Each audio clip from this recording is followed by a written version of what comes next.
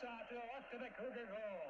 That was a great grab by Fry he was partially screened. indeed, with his experience, waiting until the uh, Victoria defenseman, I didn't catch the number who it was, but waiting until he was positioned in between he and Fry and let it go.